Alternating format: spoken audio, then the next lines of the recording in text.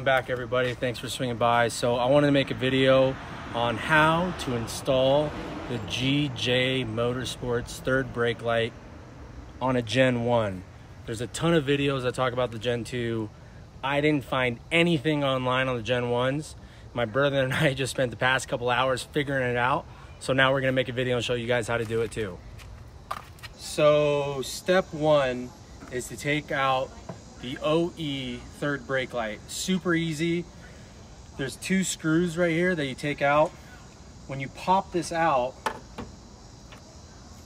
this harness is connected there and it has two light bulbs. I took the light bulbs out. You can just pull them out pretty easily. This is an important harness to know. This harness is gonna be tucked in under the headliner and you need to disconnect this and plug in the harness that you got for the uh, from the GJ Motorsports harness. That's step one. So step two is to remove this and remove the headliner. You see this hole right here? There's a cap that covers it. You pop off the cap and there's a 10 millimeter bolt right inside of this hole that you unscrew and then you can start popping this out. Once you pop this out, right here on the liner, there's these two rivets or pop out screws, if you will. There's one right here and there's one over there. You pop those out and the headliner comes out really easy. All right, once you have the headliner removed, you see that little, I hope the camera can see it for you, show you guys. That's the hole exposing to the outside that you need to get that connector wired up to. If I zoom out, that's how you get it. It's right up there. And then you're gonna one, run the wiring, the harness wiring that uh, GJ provides. You can either do it below this or above it. We did it above it because that's how the OEM one was. And we wired it all the way down, through down there, through this. This is really easy to pop off. If I show you guys here, it's just like that, right? And there's three rivets or pop sockets that you just pop out. It comes out. We actually didn't remove, we didn't remove this. We just lifted it up and passed the wire through. This is taken out the same way as the other one. So as you can see, we just passed the wire through right here and then we wired it up all the way up here. So here's where it gets a little tricky with the wiring. If you've never done wiring before like me, it's a little bit of trial and uh, trial and error. But let's see if we can get the camera to look up. So we wired both the yellow and the blue that came with the GJ Motorsports wiring harness to the skinny brown connection. That is for auxiliary switch four. That's what I wanted the ambers to be wired to. So we wired it to that.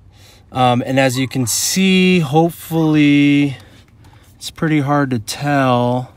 I'm sorry for this. You can imagine how difficult this was um, not being able to see it. There's a screw. There it is, right there.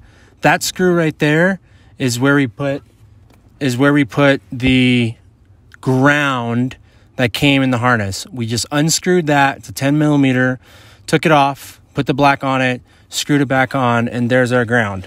And that is it. Um, you can pop this section off too. We did just for better visibility and see the wires. But that is it. That is the full installation. Uh, we're going to close everything back up and show you guys what the final product looks like. All right, everybody. So here is the final product of getting your GJ Motorsports third brake light installed in your Gen 1 Raptor.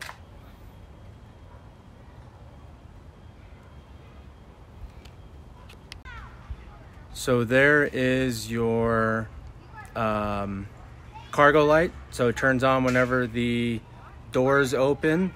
You can't really tell how bright it is because it's sunny out, but these are super bright. They're the Baja Design S2s. And this is what the ambers look like.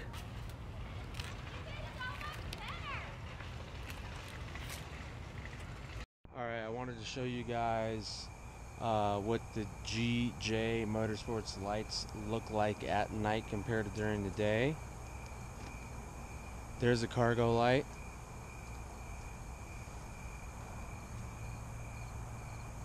As you can see, it goes all the way to the neighbors.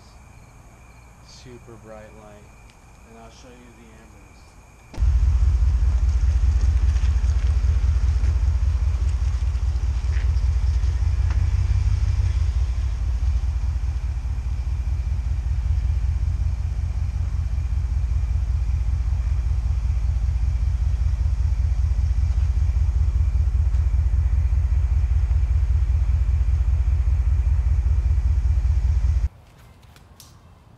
So another uh, install that we did was getting the uh, Amber Baja Squadron Pros mounted to the radiator. So now we have those as amber lights and we still have the A-pillar spot Baja design. So a lot of lighting should be ready to roll when it comes to uh, Wyoming. Uh, here's what the fronts look like. So here are the pillar spot A-pillar spotlights look like.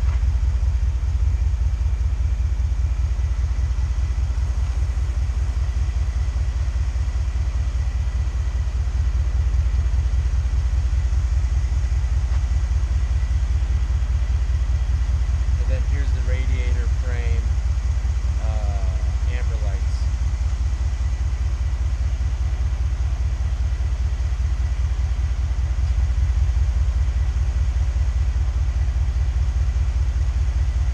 All right, everybody. That's it. That's the GJ Motorsports third brake light installation. I have no wiring experience or electrical experience at all. My brother has very little, but we were able to knock this out. There's a little bit of trial and error throughout the process, but hopefully this video helps you guys out, especially the Gen 1 owners, since there's nothing else out there. Uh, appreciate you swinging by. Please like, comment, subscribe. Peace.